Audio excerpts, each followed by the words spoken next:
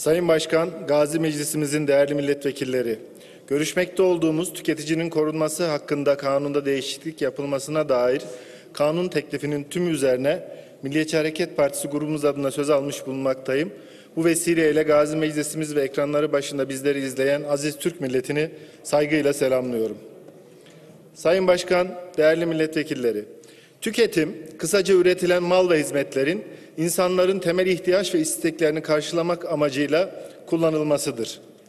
İnsan hayatını sürdürmek için beslenme, barınma ve giyinme gibi temel ihtiyaçların karşılanması ile değişen toplumsal hayat, ilerleyen teknoloji, küreselleşme ve gelişen ekonomik koşullar ile birlikte her geçen gün artmakta, farklı isteklerin de karşılanması önemli hale gelmektedir. İnsan ihtiyaçları özellikle medya ve reklamlar aracılığıyla de desteklenerek giderek çeşitlendirilmiş, harcama ve tüketim bir statü kimlik göstergesi haline almıştır. Modern insan tüketim kültürü vizyonu ile tanımlanmış, alışveriş merkezleri ise etkinlik alanı haline getirilmiştir. Diğer tarafından pek çok kampanya ile desteklenen özel günler tüketimi teşvik etmektedir. Gerçekleştirilen yüksek satış rakamları ise adeta özel günler ekonomisi yaratmakta ve bu da yine eğlencenin tüketimle özdeşleşmesine neden olmaktadır. Ancak sınırsız ve nedensiz tüketim felakettir. Elbette bir ülkede üretim yapılabilmesi ve ülkenin ekonomisinin büyüyebilmesi için talebin ve tüketimin olması gerekmektedir. Ancak burada ekonomik büyümeyi destekleyecek fakat gereksiz harcamalardan kaçınacak bir denge tutturmak çok önemlidir. Burada bilinçli tüketici ve bilinçsiz tüketici ayrımı ortaya çıkmaktadır. Bilinçli tüketici şöyle olur. Bir mal ya da hizmet satın alırken gerçek ihtiyaçlarını göz önünde tutar, ihtiyaç duyulmayan ürünlere gereksiz yere harcama yapmaz. İsrafı engellemenin insani ve vicdani bir görev olduğunu bilir. Planlı alışveriş yapar, kaliteli, sağlıklı, güvenli, çevreye saygılı ürünü seçer, yerli malına öncelik verir. Ayıplı bir mal ya da hizmet satın aldığında hakkını arar. Sosyal hayatta ailece alışveriş merkezi gezileri yerine doğada vakit geçirmeyi tercih eder ya da farklı sosyal, kültürel aktiviteler yapar. Her konuda olduğu gibi tüketicinin bilinçlenmesinde ve korunmasında da devlete büyük bir rol düşmektedir. Bunların başında tüketim konusunda gerekli bilinçlendirmenin yapılması gelmektedir. Devlet ilkokuldan başlayarak çocuklarımıza ev ekonomisi kavramını, yerli malı kullanmanın önemini ve israfın kötülüklerini aşılayacak bir müfredat belirlemesidir. İkinci önemli husus ise tüketicinin korunmasıdır. Sayın Başkan, değerli milletvekilleri, tüketicinin korunması kavramı modern anlamda 1960'lı yıllardan sonra dünyada ivme kazanmış olsa da oldukça eski bir kavramdır. Sümer tabletlerinden, Hammurabi kanunlarından, Roma hukukuna kadar pek çok kadim hukuk metinlerinde tüketicinin korunması vardır. Bu açıdan kendi tarihimize baktığımızda lonca uygulamalarının ya da padişah fermanlarının tüketicinin korunması yönünde pek çok kural koyduğunu da görmekteyiz. Ülkemizde de 1982 Anayasası'nın 172. maddesi ise devlete tüketicileri koruyucu tedbirleri alma görevi vermiştir. 20 Şubat 1995 tarihinde kabul edilen 4077 sayılı tüketicinin korunması hakkında kanun ile ülkemiz ayrıntılı yasal düzenlemeye kavuşmuştur. Daha sonra özellikle Avrupa Birliği'ne uyum sürecinde kanunun yeniden kaleme alınmasına karar verilmiş ve 07.11.2013 tarihinde 6502 sayılı tüketicinin korunması hakkındaki kanun yasalaşmıştır. Ülkemizde ve dünyada ticaret hayatında çok hızlı bir değişim ve gelişim yaşanması nedeniyle mevcut mevcut 6502 sayılı tüketicinin korunması hakkındaki kanunda değişiklik yapma ihtiyacı hasıl olmuştur. Sayın Başkan, değerli milletvekilleri, görüşmelerini yaptığımız bu teklifte kangren haline gelmiş bazı sorunların çözülmesi için önemli adımlar atılmakta, pek çok, pek çok konuda tüketici lehine yeni düzenlemeler yapılmaktadır. Bu kapsamda devre mülklerle ilgili hızla büyüyen rahatsız edici sorunların çözümüne yönelik adımlar atılmakta, yasal çerçeve oluşturulmaktadır. Tüketicilerin mağduriyet yaşadığı alanların başında gelen devre tatil sözleşmelerine ilişkin yapılan değişiklikler ile bu sektörde yaşanan tüketici sorunları minimuma indirilecektir. Saldırgan ticari uygulamaların başında gelen ve tüketicilerimizin yoğun şikayetlerine konu olan devre tatil sektörde ilişkin yapılan değişiklikler ile bu sektörde faaliyet gösteren şirketlerin uymak zorunda oldukları kurallar tüketici lehine olacak şekilde yeniden düzenlenmiştir. Öncelikle kanun teklifinde yer alan düzenleme ile tüketicinin ön ödemeli devre tatil satışlarında yaşanan tüketici mağduriyetlerinin önlenmesi, sistemin iyi işlememesi nedeniyle tanımlanamayan ve atıl halde kalan tesislerde dolayı yaşanan milli servet kaybının önlenmesi ve kaynakların daha sağlıklı yatırımlara yönlendirilmesi amacıyla ön ödemeli usulle devre mülk ve şahsi hakka konu devre tatil satışı yasaklanmaktadır. Tüketicilerin haklarının daha kapsamlı bir biçimde korunabilmesi amacıyla aynı hakka konu devre tatil sözleşmelerinin sadece kat mülkiyeti kanununda belirtilen usul ve esaslar çerçevesinde devre mülk sözleşmesi şeklinde kurulması zorunlu kılınmaktadır. Ayrıca kanun teklifiyle kooperatif veya ticaret şirketi ortaklığı ya da dernek veya vakıf üyeliği şeklinde devre tatil hakkı tanınamayacağı düzenlenmiştir. Bu alandaki bir diğer önemli düzenleme de tüketicinin en az 90 gün içerisinde devre tatili kullanamayacağını sağlayıcıya bildirmesi durumunda o dönem için herhangi bir isim altında bedel alınmayacağına ilişkin düzenlemedir. Taksitle satış sözleşmelerinde, mesafeli satış sözleşmelerinde, tüketici kredilerinde, konut kredilerinde tüketici lehine önemli düzenlemeler de yapılmaktadır.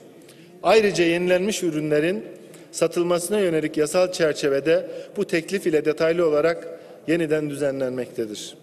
Bu kapsamda taksitli satış sözleşmelerinde tüketicinin temerrüde düşmesi halinde tüketicinin tüm borcunun talep edilmesi konusunda tüketici lehine düzenleme yapılmaktadır.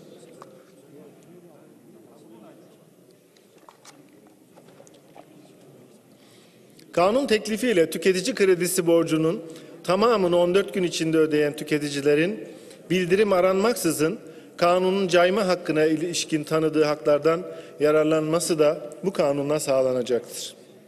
Kanun teklifinde yer alan düzenlemeyle kredi kartı veya kredili mevduat hesabı gibi belirsiz süreli tüketici kredi sözleşmelerinde faiz oranı düşürülmesi halinde tüketicilerin 30 gün beklemeden bu indirimden faydalanması sağlanmaktadır.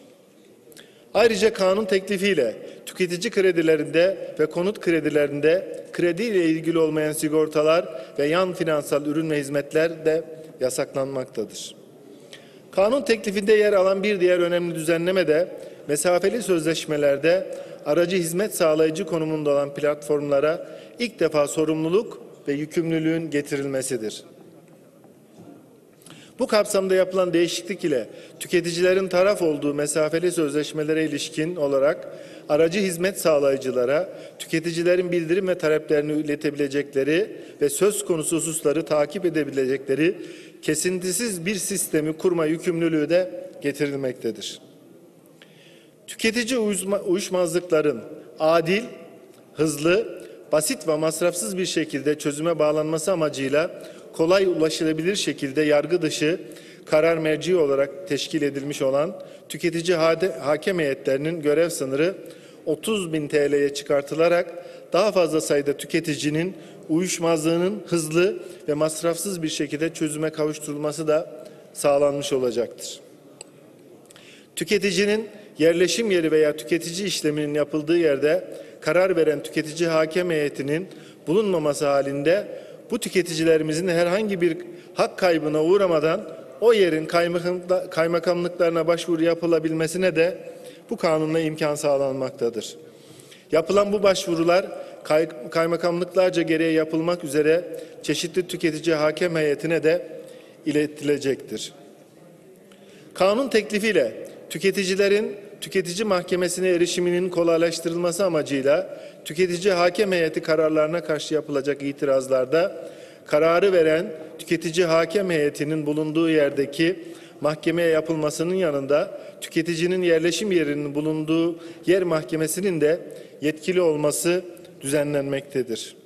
Ayrıca satıcı veya sağlayıcılar tarafından mevcut olduğu halde tüketici hakem heyetine sunulmayan bilgi veya belgenin sonradan tüketici mahkemesine sunulması nedeniyle hakem heyeti kararının iptali halinde tüketici aleyhine yargılama giderine ve vekalet ücretine hükmedilemeyeceği şeklinde de düzenlenecektir. Sahte yetkili servis sorununa neşter vurulmakta ve satış sonrası hizmetler ile ilgili tüketicilere yeni haklar getirilmektedir. Son zamanlarda tüketicilerimizin yakındığı konulardan bir tanesi de yetkili servis algısı yaratarak tüketicilerin ürünleriyle ilgili satış sonrası hizmeti konusunda mağduriyete sebep veren sahte yetkili servislerdir. Bunların mağdurlarından bir tanesi de ben olmuşumdur. Yapılan düzenleme ile tüketicilerin, firmaların doğru ve güncel yetkili servis istasyonu bilgilerine ulaşabilmeleri herhangi bir altadıcı uygulama nedeniyle mağdur olmamalarını sağlamaya dönük adımlar da atılmıştır. Kanun teklifiyle kullanım ömrü sürecinde üretici veya ithalatçılar tarafından mala ilişkin satış sonrası hizmetin sağlanmaması durumunda tüketicilere zararın tazminini talep etme hakkı da getirilmektedir. Ayrıca sürdürülebilir tüketimi özendirmek ve tasarrufu teşvik ederek israfı önlemek amacıyla yenilenmiş ürünler ilk defa kanunla düzenleme altına alınmaktadır.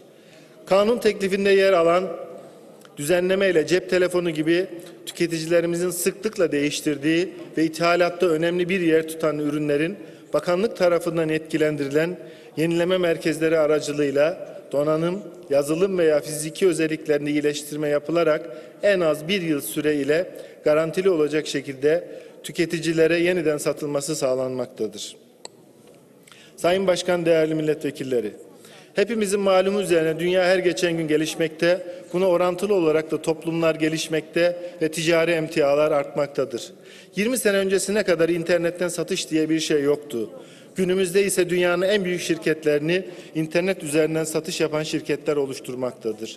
İki yıl öncesine kadar NFT diye bir sistem bilmiyorduk. Resimlerin internet üzerinden dijital haklarının satışı iki yıldır gündemimize onlar da girmiştir. Buna bağlı olarak Turkon olarak adlandırdığımız 6 teknoloji şirketimizin her biri yaklaşık 1 milyar doların üstünde bir seviye gelmiş ve gün geçtikçe değerlerine değer katmaya devam etmekte ve sürekli de yatırım almaktadırlar. Sayın Başkan, değerli milletvekilleri, görüşmekte olduğumuz kanun teklifiyle tüketiciyi korurken dikkat etmemiz gereken bir hususta kötü niyetli tüketicilerin de olabileceğini göz ardı etmememiz son derece önemlidir. Çünkü kötü niyetli olarak bundan fayda sağlayan, bundan imkan sağlayan tüketicilerin de olacağını unutmamalı. Her iki tarafı da gözetmenin de bizlerin sorumluluğu olduğunu da burada ifade etmek istiyorum. Son olarak kanun teklifiyle ilgili yapılan değişiklikle kanuna aykırılık halleri için öngörülmüş bazı idari para cezaları, fiilin ağırlığı, failin kusuru ve ekonomik durumu dikkate alınarak ve orantılılık, ölçülülük ve caydırıcılık ilkeleri gözetilerek yeniden düzenlenmektedir. Sayın Başkan, kıymetli milletvekilleri, konuşmamın bu bölümünde 4659. yılını kutladığımız Ergenekon'dan çıkışımızı müjdeleyen Nevruz Bayramı'ndan bahsetmek istiyorum. Nevruz, Türk'ün toyu, Türk'ün bayramıdır. Türk milletinin yeni günü, Türklüğün tarihin derinliklerden süzülüp gelen kültürel gücüdür. Nevruz binlerce yıllık tarih içinde milletimizi ortak sevinç ve huzurda, ortak ülkü ve dostlukta buluşturan atalarımızdan miras, torunlarımıza emanet bir övünç vesilesidir. Nevruz büyük Türk milletinin sönmeyecek varlık ateşi, ötüken ormanlarından Balkan dağlarına uzanan birlik beraberlik nişanesidir. Nevruz Türktür, Turan'dır, ülküdür, heyecandır. Nevruz ülkemizin kardeşlik ve dayanışma güvencesidir. Balkanlardan Orta Asya'ya kadar gönüllerin coşkusu, yüreklerin heyecanı, kalplerin huzuru Türk'ün bahar bayramıyla daha da güçlenmiş, eşsiz güzelliklerini bizlere sunmuştur. Binlerce yıldan bu yanı Balkanlardan Orta Asya bozkırlarına, Adriyatik'ten Çin Seddi'ne, Kafkasya yaylalarından Orta Doğu vadilerde, Kırım köylerinden Sibirya düzlüklerine kadar yakılan Nevruz ateşi, Türklüğün hayat ve varlık haklarını tescil etmiştir. Nevruz Türk milletinin nesilden nesile ta- taşıdığı barış ve bayram meşalesidir. Bu meşalenin altında birlik ve kardeşlik duyguları, dostluk ve dayanışma hasretleri canlı bir şekilde var olmuştur. Türk milleti Nevruz'la birlikte yeni ve umut dolu günlerin geleceğine inanmış, buna güvenmiştir. Asırlar geçse de bu çok önemli tarihsel ve kültü- kültürel gerçek Türklüğün vicdan ve ruhunda bugüne kadar özenle korunmuş, safiyetle yaşatılmıştır. Bu yüzden Nevruz yeniden doğuşun, bolluğun, bereketin, dirilişin, uyanışın, kardeşliğin, huzur ve esenliğin simgesi olmuştur. Tarihiyle, coğrafyasıyla, şiiriyle, şarkısıyla, gelenek ve görenekleriyle Türklüğün bayramlarını yaşamak, yaşatmak ve gelecek nesillere aktarmak milletçe hepimizin görevi olmalıdır. Bu vesileyle Nevruz'unuzu kutluyor, Türk İslam dünyasına ve İslam alemine huzur ve kardeşlik, beraberlik ve bolluk getirmesini temenni ediyorum. Nevruz'un taşıdığı değere ve anlama uygun olarak yaşanan bütün olumsuzluklardan geri, olumsuzlukların geride kalmasını, yeni ve güzel günlerin, bereketin, mutluluğun ve şuurlu bir uyanışın aziz milletimizle beraber olmasını Cenab-ı Allah'tan diliyorum. Değerli Başkan, sayın kıymetli milletvekilleri, sözlerime son vermeden önce Ankara Ziraat Fakültesi öğrencisiyken 23 Mart 1970 tarihinde şehit edilen mesle- meslektaşı olmaktan onur duyduğum ağabeyim Süleyman Özlem'i şehadetinin 52. yıl dönümünde destan şairimiz Niyazi Yıldırım Genç Osmanoğlu'nun Özmenem, özmenem, onlar kabuk, özmenem.